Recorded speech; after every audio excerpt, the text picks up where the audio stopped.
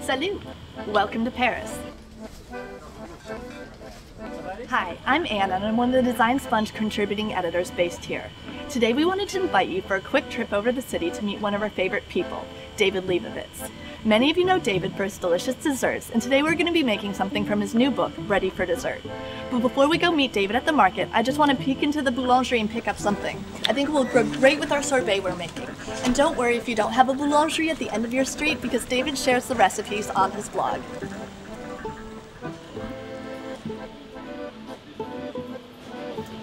All set.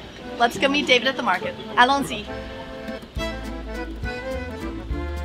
One of my favorite things I always do when I travel is to visit a local market.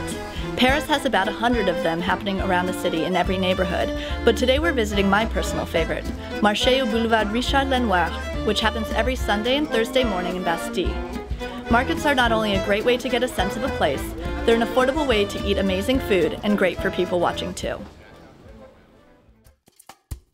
So welcome to David's apartment and his giant kitchen.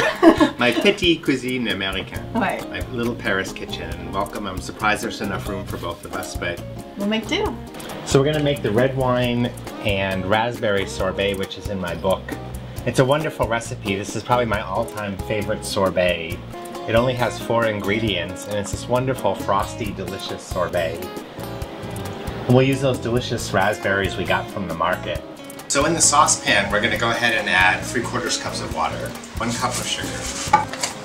Well, now you're gonna get to use your hands okay. um, to open the wine. It's great that it's a screw top wine. Um, some Americans are very skittish. They're like, ooh, screw top wines is not good.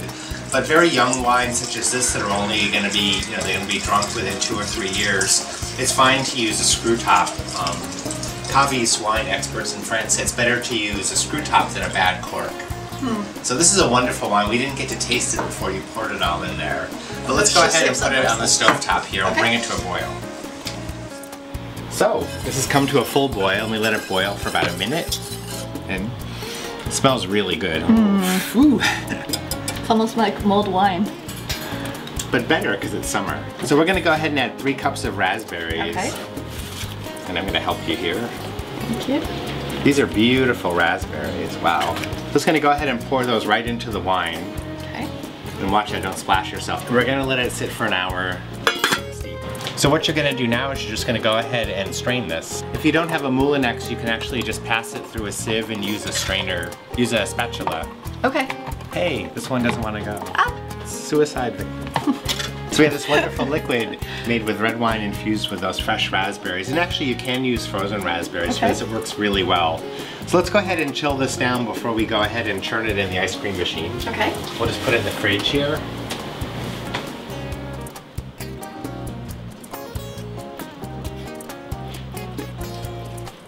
So now we've got the mixture all in the machine, we're gonna put the lid on and turn it on.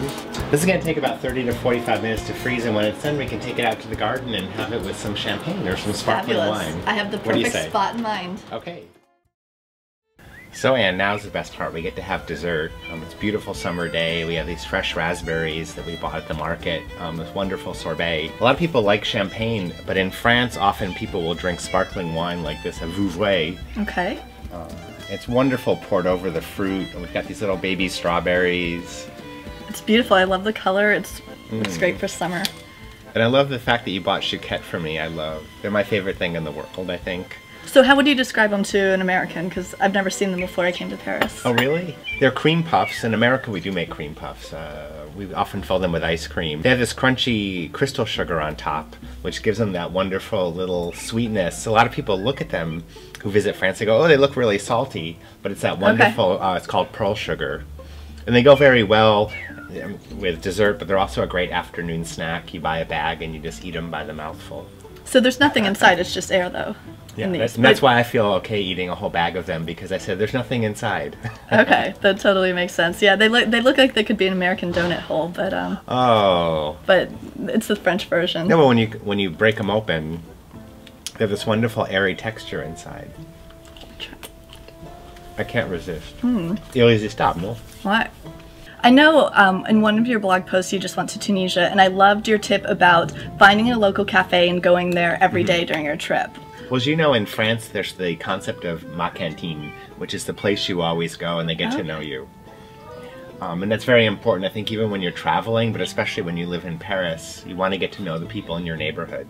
Yeah. The cafes, the butchers, the bread maker, the cheese shops, which is probably the most important person. I know, because when you travel, there's always that temptation to go and see and do everything. Mm-hmm. But I love the idea of staying in one place and really getting to know the people and the, the location. Well, I love your book, uh, The Sweet Life in Paris, because it is this memoir but with recipes, and you have this really amazing sense of humor through it all, which I think in living in a foreign country, you kind of take things for granted, but you, you need to roll with the punches all the time.